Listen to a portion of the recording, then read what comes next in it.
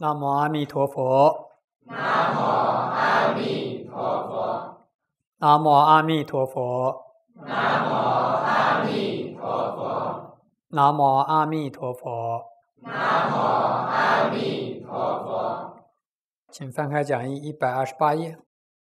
我们昨天呢，主要是说了两个概念，就关于支持名号两种不同的注释系统，一个就是弥陀二姐所说的事持与理持。啊，对支持名号呢，从众生这一边理解的是有智解还是没有智解？啊，是从事项上还是从这个呃义理的体认方面，所以分出呢事持与理持。那另一方面，上岛大师的这个系统啊，它是没有这个概念的，他就讲本愿称名。那我们《阿弥陀经》里边这个支持名号，以善导大师的理论解释，他不会说是持理持这样的话。他就说：“这是本愿称名，这是因为顺了阿弥陀佛的本愿，所以只为弥陀弘誓众，致使凡夫念即生。那么这两种对支持名号的解释呢，它反映出呃两种不同的系统，或者说是两种不同的传承。那我们学法一定要依据我们的传承。那么以上的大师呢，因为站在阿弥陀佛本愿。”这样的一个高度和立场，所以呢，他不会落在众生的层面去就能称名的方法啦，啊，什么高低啦、角度啊，说的很少，那都站在阿弥陀佛的本愿上，说定散定散随机，呃，理事相应，定散随机，亦不零落，所以这种解释呢，就显得非常的高妙，它的角度。它的视野，它的高度，那就不一样。那当然，我们本人，我们，嗯，这个法门的传承，就是依据善导大师的本愿称名。那昨天呢，因为讲的比较多了，从根基啊、时代啊，它的一些，呃，呃立场的说明，为什么弥陀要解做这样的解释？那我们之所以说这是两种。它就像两条路线一样，它会得出不同的结论，也有不同的一个展现的方法。它从一开始的时候呢，比如就是这个世持理持啊，它就是站在一个圣道门修行，呃，一个基本的教理展开的一个立场，就是站在凡夫性德的立场上。那么善导大师呢，都是站在弥陀修德的立场，所以他这样对名号的支持名号的解释啊，就展开不同的层面，包括后面讲的一心不乱，那都不一样的解释的。如果以善导大师呢站在本愿称名的立场上，他固然没有事持理持这样的划分，那么对一心不乱的解释也是非常的简单的，因为从本愿称名的这个角度来解释的，他就不会。啊，有有有有，在众生这边啊讲了很多，那让我们呢觉得比较难。当然，从通途的净土的教理，它也开展不出来本愿称名这样的一个根本的教理基础，就它没有这样的概念。但偶尔的会说到，但是把它作为一个根本的基础，还是没有的。像《弥陀要解》里边说到了啊，他说。嗯，心性之极致啊，称名之啊，持名之奇勋，弥陀之大愿。若非如此，何以有这样的效果呢？那么他就说到了三点：心性、持名和弥陀大愿。所以也是呢有所涉猎，但是呢，他把这个像上海大师，他就说本愿称名，虽然称名，从弥陀本愿来解释，他这样把它分为三个，一个力道就弱了，再一个呢，也从众生心性这边。是很强调的，比较多的，这样我们看起来就模糊。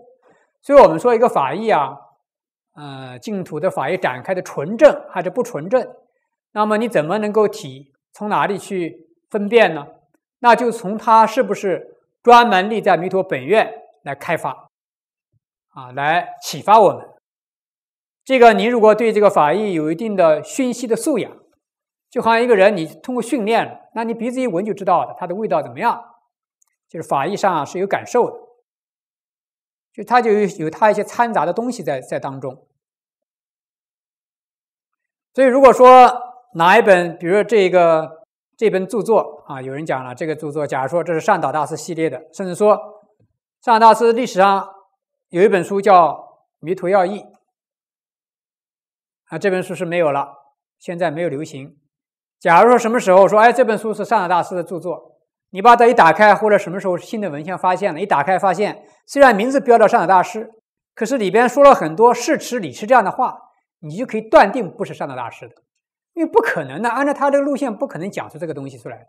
就好像我们，我们从这个点地点出发了，结果走在不同路线，一个走南线，一个走北线，南线是水路。北线是陆路，那么你走北线的人说看的风光，和你从南线从水路走的风光肯定是不一样的。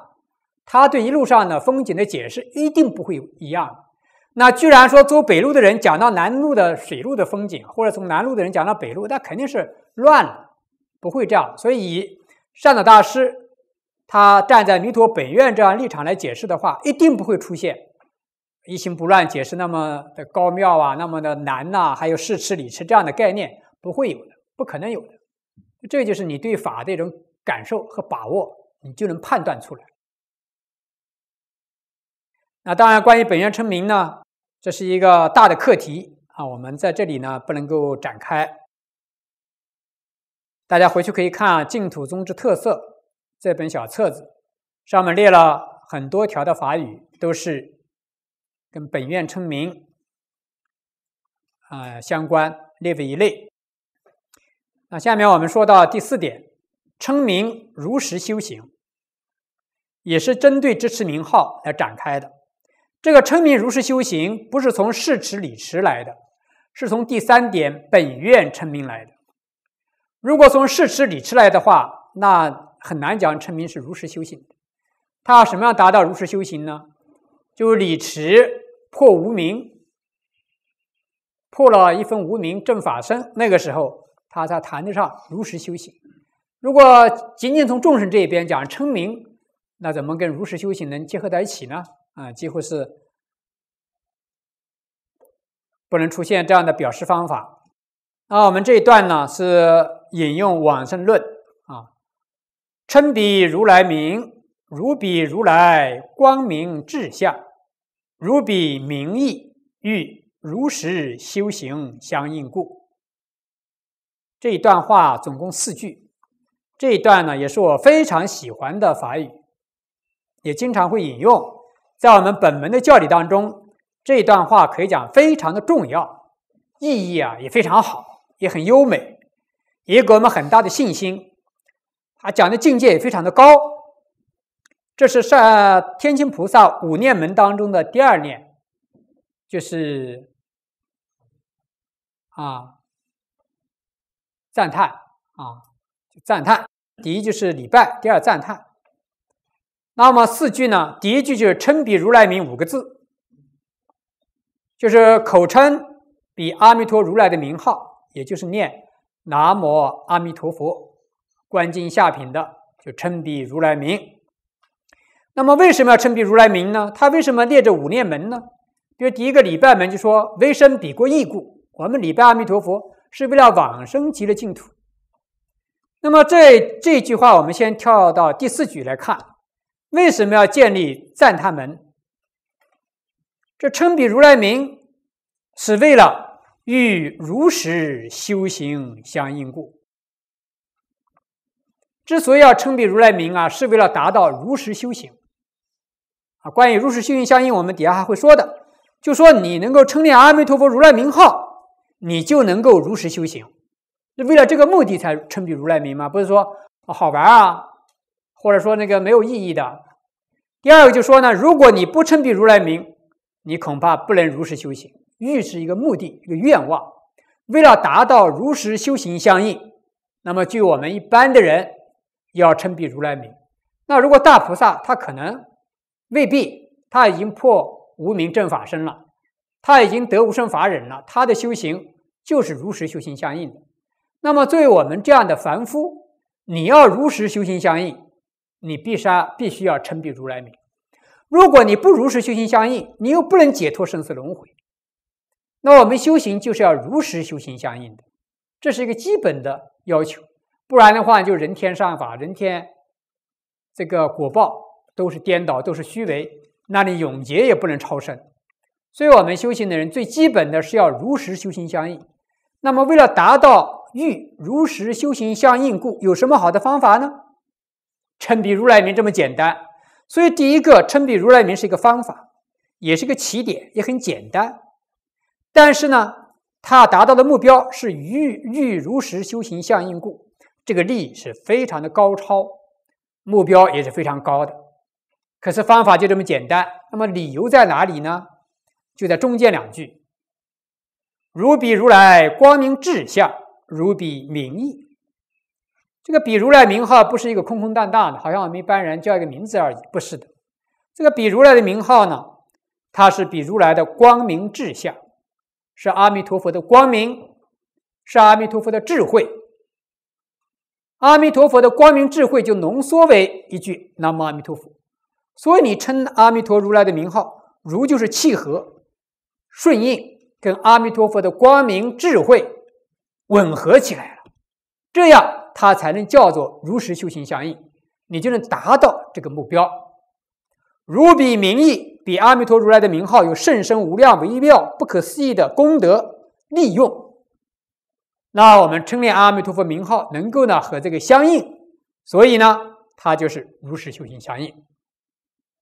所以这中间两句啊，它是一个理由。我们大略的呢，就把这句话说了一下。下面我们来分析。第一，如果就我们下列凡夫本身的根基来讲，凭我们自立的修自立的话，没有如实修行，你不可能做到如实修行。当然，对“如实修行”四个字，我们要稍微做解释。如如就是契合的意思。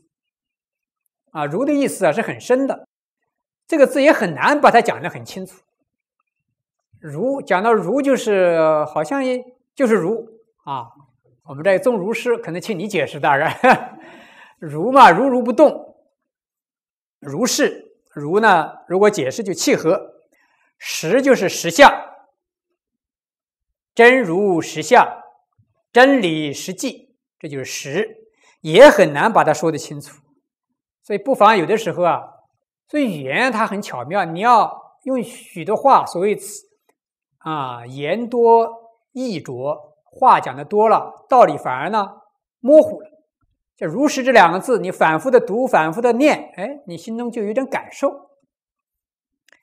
所以如实修行就是契合实相，契合真理实相，按照真理实际的本来面貌来修行。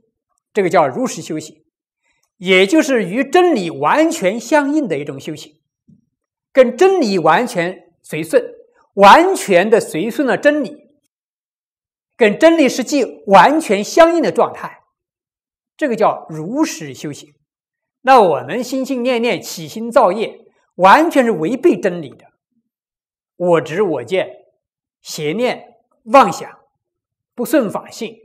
像我们这样的罪业繁复，你怎么能做到如实修行呢？所以，如实修行这个境界是非常非常的高的。如果以禅宗来讲，没有开大悟，你就是免谈；悟后起修，大彻大悟之后，嗯，稍微有一点点那么意思，还未必能修得到。所以，如果我们凡夫来讲，如实修行，这个你就要免谈了。那么，如实修行，如果按照通途的教理啊。是初地以上的菩萨证真如而起行，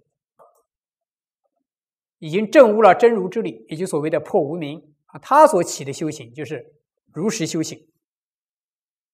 那么净土门来讲，法藏菩萨当初的修行是如实修行，这我们哪做得到啊？往生能注就有这一段话：从菩萨智慧清净业起。庄严佛事，依法性入清净相，是法不颠倒，不虚伪，名为真实功德。云何不颠倒？依法性顺二谛故。云何不虚伪？摄众生入敌境禁锢。往生论著啊，是我最喜欢的一本书啊。今早上坐那里看，我就说，如果说所有的书里面只给你读一本书，你读哪一本书呢？我就在想，是往生论著还是观经书？往生论著还是观经书？这个这书啊，确实太好了啊！往生论著我是非常非常的喜欢，非常的美，它的这个语言啊，非常简洁美妙。非常的让你和一种美的享受。你看这些话你读了之后，所以如果我们读书还读古文，你就把往生咒反复的读，什么你都有。这个文句非常的非常的美，义理这个表达文辞，这这这这是高人就是高人，这非常之言不如常人之耳。这个书啊写的特别好。你看这些话读起来，你真的是一个字不能加，一个字不能减。而且呢，有很大的一种穿透力，一种感染力。当然，我这样讲也也许有的人觉得怎么穿透力？没穿透过来啊！多读几遍，就你读起来，他这种语言有一种很大的力量，给你很庄严的感觉。他这是讲法藏菩萨当初的修行，就是说他把功德分为真实功德和不实功德。那么真实功德，从菩萨智慧清净业起。庄严佛事，依法性入清净相。哎呀，好啊，哈！这菩萨嘛，当然一些大菩萨都是这样的。这里特指呢，法藏菩萨智慧清净业。法藏菩萨，我们人不管是凡夫还是菩萨，我们都会这个造业。可是菩萨的业呢，是智慧业，智慧清净业，由这个而起。这个智慧清净业起的作用呢，就是庄严佛事。这四个字虽然很简单，啊，它的意味很深长。像智慧啊、清净呢，像这些词放在这个地方，它都给我们极大的加持，不能简单的读过它。那我们呢？我们就是迂惑颠倒，染污不净。如果众生来讲，就从这个颠倒染物业而起，庄严恶业，以自恶业而为庄严。你也庄严，庄严了地狱的，地狱里面本来只有十八般那个苦具，结果你你的恶业更多，变成了把它里面地狱搞庄严了。地狱的这个刀山剑树，你造业以后见更多了，这不是庄严地狱吗？所以你看，菩萨是智慧清净业起庄严佛事，我们是颠倒染污业起庄严地狱，庄严我们的恶业。菩萨是依法性入清净相，这话你读起来很舒服。依就是随顺啊，依从了法性，因为他的业是依法性，所以他能入清净之相。而我们呢，所有做的一切都是染物相，都颠倒的，不依法性，不顺法性。所以这些要反过来看啊，你就能够了解。是法，是法就是菩萨所起的业，菩萨所修的行，不颠倒，不虚伪，名为真实功德。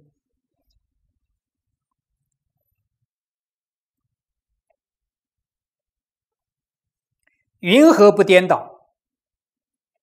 下面就解释怎么叫不颠倒呢？依法性顺二谛故。所以不颠倒，顺了法性，依顺法性。这个法性，这后面加了一句“顺二谛故”，就是免得呢这个小乘所解释的偏真啊、淡空、偏真这么一个，那就是只是呢偏于真谛空这一方面。而菩萨所修的不一样，顺二谛，所以二谛就是缘起性空、俗谛和真谛这两个真俗是不二的。它不会偏在一边，啊，讲缘起嘛，就是俗谛；性空呢，就真谛。可是这两个呢是一致性，这样它才能发挥什么作用呢？就有第二句“云何不虚伪”翻过来，摄众生入鼻境禁故，它就能够摄受众生，这是不虚假、不虚伪，就说它的功能作用是实实在在存在的。这个虚伪，并不是说说假话骗人，就说他这种，因为他以智慧清净业所起，庄严佛事，他这样所形成的功德，就有这种作用，他能够摄受众生。然后呢，本来这个法是入清净相，它能够摄受众生，自利有利他，让众生呢进入到毕竟清净的极乐净土，啊，摄受你往生净土。它必须是顺二谛才有这种作用，因为摄众生，众生是在世俗谛当中的，它属于世间的。如果你不顺世俗谛的话，你怎么能摄受众生呢？你像这个阿罗汉，他就是非灰身灭智，啊，常住这个极灭当中。那他就不能有这个依法性顺二谛来摄化众生的，所以菩萨他摄众生。那么如果说你不是顺着这个真谛，你怎么能够摄他入毕竟境呢？所以这两个就是贯通了，所以这样呢达到不颠倒、不虚伪。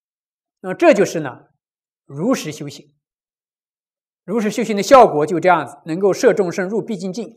我们自己还还不能把自己入毕竟境呢，我们把自己搞哪地方去了？搞到三恶道去了。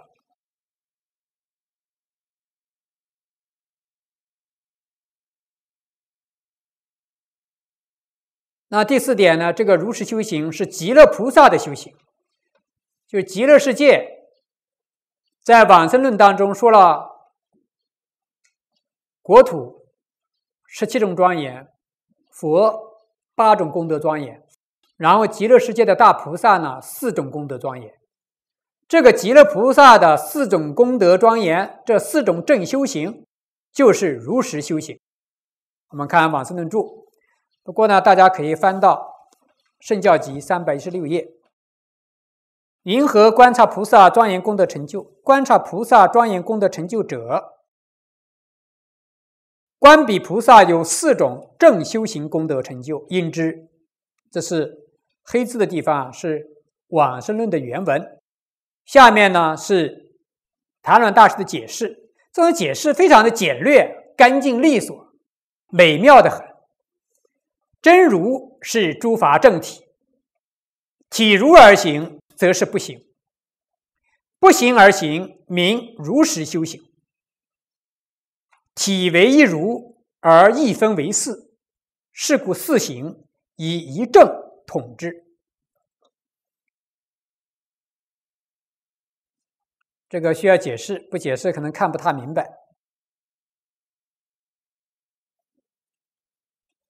真如，也就所谓的真如实相，是诸法一切万法，一切万法的正体。这个“正体”两个字啊，应该怎么怎么理解？所以正体就是它本来的体性，它根本的体性。它其实我是觉得“正体”两个字本身就可以了。这个体有所谓的正和不正。比如说我们一本书啊，如果我们从这个形状来看。我们可以说它是一个立方体，这是形体。那如果我们从它的这个材料来看，我们说这是木质的书，这是指它的纸体。那么如果我们从它的这个从文具来看，我们说这本书是由啊文字这个语言来构成的，这是它的呃这个书啊它的义理这些这些体。但是，一切万法这些讲的都是浅表的层次，它的正体就是当体，它的根本本来的体性是真如，是空性。你不管怎么解释形状啊，什么纸啊，什么文具啦，这些所有这些，这都在表浅的层次来说明的。如果叫正体来讲，就是真如，一切万法就是真如实相的体示体现，这叫正体。这个“正”字就给人感觉呢，这是非常大气的，感到是体大无外，无所不包，至大至刚。所么所有一切万法，它这真如的正体全部都讲完了。所以这个这一句话，它就是所有一切万法的体性是一个体。那如果除此之外，你可能有两个体，比如说这个佛像是木头做的，是木体；这铜做的就是铜体。这个话没讲的正，你讲的都偏了。如果讲的话，不管是木头的佛像还是同坐的佛像，甚至哪怕是凡体肉胎的，它所有的体都是真如实相。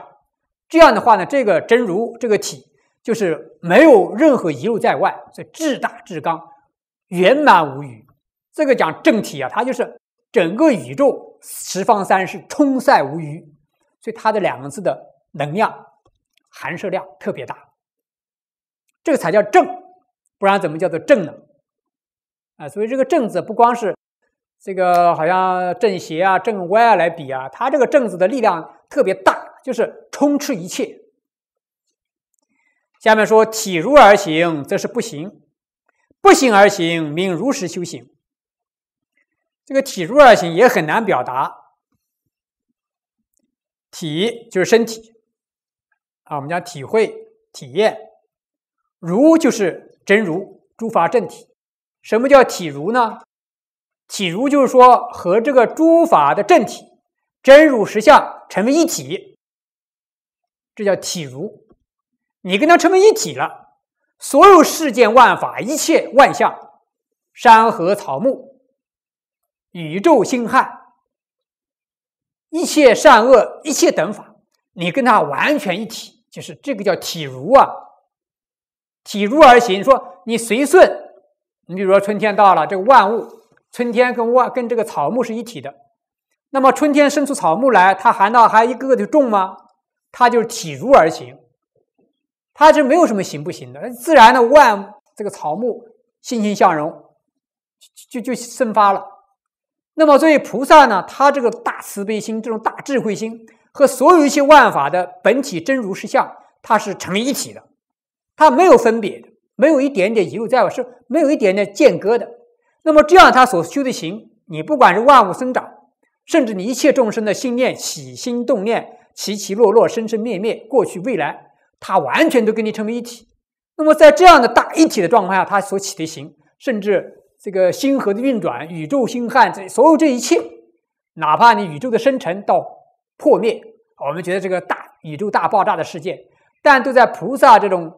体入而行的大心当中啊，它都是一点不动的，寂然不动。所以体入而行，这是不行，它没有什么行不行，因为它本来就跟你一体，哪里什么行不行呢？那比如说，我们讲一体就没有行了。比如说我们坐车，你坐上火车了，你跟它成为一体的时候，你就看不到这火车在跑，对不对啊？那么你坐在你站在路边上，成为两个，你看啊，它在跑。那么你做了跟它一体了，你不就是你哪什么？你哪能看到它跑不跑呢？不就不行了吗？这是简单的比喻。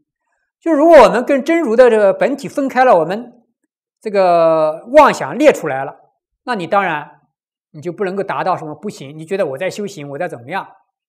那如果你跟他一体，你当然也就是感受不到这种行，因为一体一体的作用。而何况这个体它是体大无外的，它也没有任何的所以参照的背景。它完全充斥的，不行而行。虽然讲不行，但但是呢，并不是死灭的状态，它有这个随顺法性、智慧清净业自然升起。所以不行当中而有行，那么这个行呢，就叫做如实修行啊，这是非常高的境界。所以禅宗也经常讲，比如禅宗啊、圣道门讲什么呢？这个。叫做趁性起行，啊，不修而修，修而不修。你要称性，这个性也就是所谓的啊，这个如啊，法性真如是一样。那我们也经常听到说的，万法从本来，常自即灭相。就是一切万法它本来就是即灭的。那么既然即灭的，哪有什么行不行呢？连生灭这些都都谈不上了啊。这个是本来，也就是所谓的。诸法正体，是法住法位，世间相常住。世间相，如果我们看起来生生灭灭，可是以佛菩萨他能够呢体入而行，跟这个万法一体。这个世间相在佛菩萨来，它就是世间相常住，没有生灭。这个都是菩萨的一种境界啊，而且是高位菩萨。体为一如，这个体为一如的体，是诸法正体的这个体。啊，和体如而行的体，这个体如而行的体呢是动词，诸法正体的体是名词，是不一样的。这底下体为一如，这个体呢是名词，诸法的正体都是一个，就是一如，一如，如就是一。那么意象呢，分为四个方面来解释它，来说明它，而一分为四，啊，这叫一分。是故四行以一正统之。那么体是都是如的，所以这个虽然分为四个行，这四个行都是从诸法的一如的正体里边不同的角度的解释，所以这四个行都叫正行。他前面说了嘛，菩萨有四种。正修行功德成就，所以用一个“正”字来统摄四种行，都叫四种正修行，是这个是要表达这个意思。所以这个“正”啊，它的意思是非常好的啊，叫一个“正”字。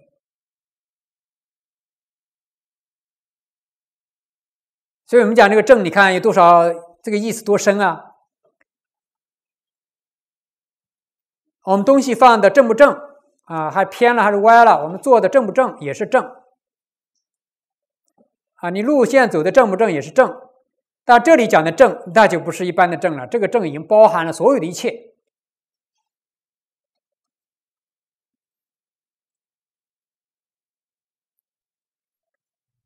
这个一正统之，大家明白吗？统是统帅的意思。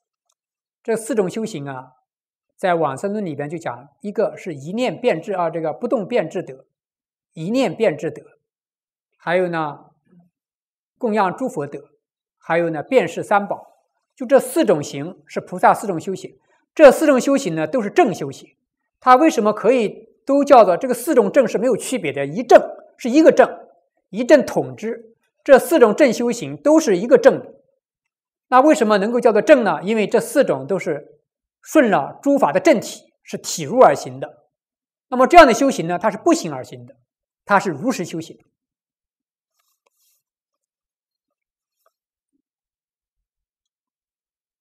那么突然想到呢，我们上的大师讲的五种正行啊，那五种正行的话，如果从这个体入而行，一正统之，也很有内容，也很有啊，这个境界啊，也非常的高。五种正行，第一个读诵正行，我们读诵三部经，这三部经呢，它本身所诠释的是阿弥陀佛的名号，就是真如。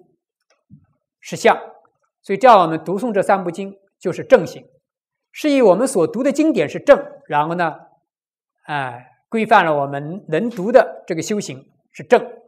那如果你读世间的书，能够叫正行吗？那都歪理邪说，不知道去哪去了，对不对？啊，然后你跟真如实相根本就是扯不上边的事情，那读的都是这个世间的书，你再怎么正都都正不了。第二呢，就是。第二是这个观察正行，观察西方极乐世界，极乐世界三种庄严都是真如实相，所以我们来观察这个也是正行，也是如实修行相应。那么礼拜礼拜的对象是阿弥陀佛，那不用说真如实相，那我们来礼拜才是正行。你礼拜土地菩萨那就不行了啊！你礼拜什么？还有的拜那些什么大仙之类的，那都歪的不能到哪去了。所以以我们所礼拜的对象。这是正修行，也是如实修行相应，所以这种五种正行想起来都是如实修行相应的。好，第五第五点，那我们看如实修行是不容易啊，如实修行是地上菩萨修行，是法藏菩萨的修行，是极乐世界大菩萨的四种正修行。那我们凡夫哪有呢？所以凡夫啊没有如实修行。那么也引用了三条文。首先看《往生论注》这条文啊，读起来也是非常非常的过瘾，讲的很透彻，跟前面那一段是翻对的。那众生啊，从有漏心生，你所修的功德，从有漏心所生的，这有漏就是染物，就颠倒，不顺法性。所谓凡夫人天诸善，人天果报，若因若果，皆是颠倒，皆是虚伪。是故名不识功德。我们哪里有如实修行相应？我们哪里有如实功德？都是虚伪，都是颠倒。所谓的虚伪，就是不能够让我们就近解脱生死轮回，不能摄众生入毕竟境，不能达到涅槃家乡，这就是虚伪。就你修到后来是一场空，竹篮打水一场空，不是说你去故意骗人，你很认真，但是最后还是虚的一场空。怎么样努力，怎么样的精进修行，到了解脱生死一场空，这不是虚伪吗？不是假的吗？那么颠倒呢？不顺法性，这就是颠倒，没有契合真如正体。所以讲正哪里有正啊？诸法是相，真如实际，这就是正。那以我们净土门来讲，这个名号啊，极乐净土，这就是正。安乐集也说了，真如实相，敌意空，曾未错心。真如实相是诸法正体呀，是第一空啊。但是呢，我们根本修不来，曾未错心，从来就没有跟他碰上过。观经书也说：“虽起三业，名为杂毒之善，亦名虚假之行，不明真实业也。虽从谭鸾到处到善导，这是一脉相承。众生这边没有如实修行，都是假的。不过现在好了，真如实相，我们是曾未错心。可是如果借有名号，念念支持名号，念念就是真如实相，如实修行相应。”就是我们自己自立来讲，不可能跟真如实相契合的。可是这句名号本身呢，就是真如实相。真如实相本来是拿不出来的，没办法言说，所以无心不可思，言不可表。这就是一切菩萨、一切法门。你要讲到这个地方，再有智慧的人，文殊菩萨也讲不出来。维摩诘这个大居士，他只能是默然渡口。此处不可说，所以心思不能及，言语不能表。言语道断，心行处灭。那我们法藏菩萨他之所以伟大，他之所以优胜，这个法门之所以殊胜超越，就是把这个不可说、不可见、不可心思言表的实相，把它成为一个可说可称、可以让你抓得住、看得见、可以来支持的名号给你。这个就不得了了，这个法界是个大的发明啊！这个这这个产品那就不得了，所以这个十方诸佛他也不能把这个实相怎么把它捏出来给你啊？像这空间，我把这空怎么给你？我抓出来给你，我给你，你拿拿不到，我怎么给你？我只这这个法藏这个不得了，就把真如实相给它成为一个六个字，你就给了，而且你还拿得住，你只要念，你就可以进入真如真如实相，你这个怎么得了？这让我们凡夫一切众生就可以如实修行相应，就能达到从摄众生入毕竟境，从娑婆苦恼的此岸，就给你架一通桥啊！自古以来，娑婆世界秽土跟净土之间，你是没有桥过去的，除非你自己证悟无生法忍，那你就可以进入了涅槃境界。现在阿弥陀佛就在你娑婆世界跟极乐世界，这个是光和暗两势不两立的这么一个。有光就没有暗，有暗就没有光的地方，他居然给你架了一通桥，有了六个字，从这个彼岸娑婆的苦恼界，你让我们凡夫众生，你说一般的圣道门的修行，你有我，你就不可能是无我的，对不对？你有我就不可能是无我的。那么你有烦恼，那你现在当下就不可能是涅槃的，你就是造业的，你就是这个轮回的众生这样的果报。可是阿弥陀佛这个修行的法门，在你是有我有分别不断烦恼的情况下，能让你得涅盘分，能有我的时候能达到无我的作用，你觉得这个怎么可以思议啊？你有分别的时候能达到气正无分别的境界，你念念求生心很强，哎，你可以往生到无生的暴徒。唐人大师讲的这个自然求生，比如冰上燃火。啊，火猛则冰液，冰液则火熄，这是不可思议呀！这个，如果我们仅仅讲圣道法门的这个道理，比方真如实相啊，言不可思，语不可表啊，言语道断，心行处灭，你这样讲不可思议，固然是不可思议，但是把这个不可思议的都能够成为一个看得见的，让你能够接触到的，这个是真正的不可思议。你比如说现在阴阴间，我们每个人去过阴间了吗？你没有去过吧？对不对？那么阴间给我们阴阳两隔。那么阴阳两隔里面，居然把阴间的那个人把他调出来，让你看得见，让你可以跟他去走，这不是不可思议了吗？那我们现在就是两隔的，比较讲阴阳两隔，我们娑婆慧净两隔，跟净土是隔开的。可是阿弥陀佛有本事，搞一个六字名号过来，嗯，通上了。我昨天啊，又发现了两只苍蝇。我前天发现的是一只苍蝇啊，昨天发现了两只苍蝇。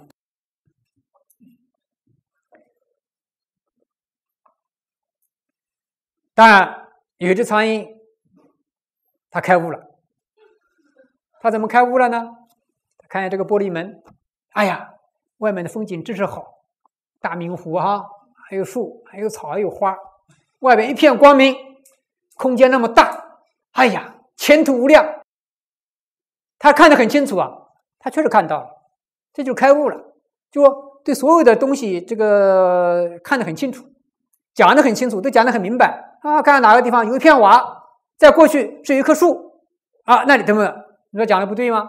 讲的很对，但是他被这这张玻璃门挡住了，他怎么飞也飞不出去，所以你看到没有用。这就说开大悟的人，大彻大悟的人还是凡夫。你大彻大悟是我，我承认你大彻大悟了，你讲的就都对，但是呢，你业障的玻璃挡住了你，这一层无始劫来的业障的玻璃门挡住了你，那么你自力修行的两个小翅膀，苍蝇的两个小翅膀，你怎么飞？你能能冲破这个玻璃门吗？你冲不破，对不起，你还在这个地方，所以大彻大悟仍然是凡夫。还有一只小苍蝇呢，哎，第二只苍蝇，它也是，它它连玻璃门都都没有碰到，它也没看到外面什么。什么什么什么鲜花绿草，它也没看着，但是呢，它运气比较好，它旁边呢有人给它挖了一个孔，有管道，哎，它顺着一小管里面，呼一飞就出去了。这个管道什么？就六字名号，就是净土门的修行人，他即使在一个黑暗的房间里面，没有看见，没有玻璃门，没有看见外面的景象，他，但是他一旦飞出去，他怎么样？哎呀，小苍蝇好不快乐，啊，对的，他能够受用这个外面的清风。外面的阳光，那么你看得到，你受用不到，而且它可以钉到这个花上，可以钉到那个草上。他回头一看，哎呀，我开悟的那个兄弟师兄弟怎么还在那个玻璃门上扒着？你出来呀！他说我出不去啊！你你你出来！那我也看得到，我出不去啊！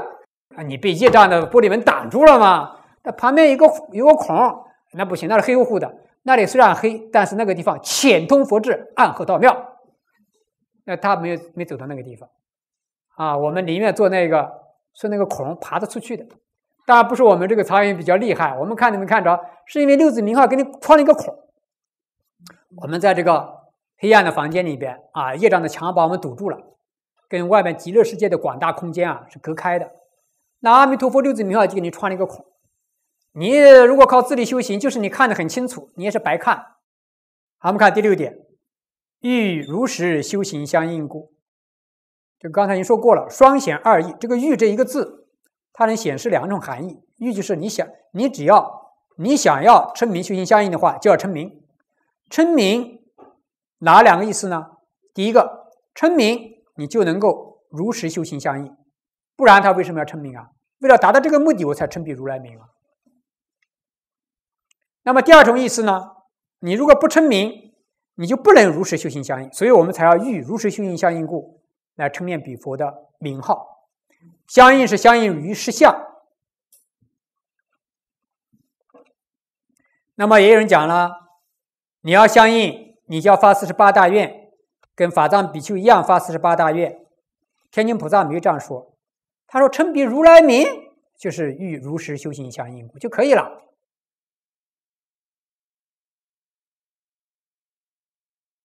好，接下来呢，我们看第二点。这第二点啊，列的法义比较多啊。我们第二点说明称名即是如实修行。当然，这个称名所谓的如实修行也有两种状况：一个如实修行，第二种不如实修行。我们这里是讲如实修行的。这个如实修行呢有两种理由，刚才说过了，一个由如比如来光明志向；第二点呢是如比名义。这虽是两句话。但是呢，它们之间是关联的。你能如比如来光明志向，也就是如比名义。能如彼名义，也就是定是如彼如来光明志向。我们先看第一，如是契合相应随顺啊。比如来光明智是何等相？你要如如比如来光明智相吗？比如来光明智是什么样的相呢？所以如比如来光明智相，就是随顺着阿弥陀佛他的光明智慧。这个相虽然一般解释为相状，这里呢可以理解为它的作用、功能、意义。就是我们念弥陀的名号，是随顺了阿弥陀如来他的光明和智慧一种大的作用，顺着他这种。啊，作用，嗯，那你当然，你顺着阿弥陀佛的光明，顺着他的智慧，契合了他，让他的光明作智慧作用在你身上，称念弥陀名号的人起作用，这个当然就是如实修行啊。弥陀的光明和智慧就是真如实相契合的，完全是一体性的。那我们底下呢列了一些法语，先看往生论注。佛光明是智慧相，能除十方众生无明黑暗。我们看佛菩萨的后面都画一个背光。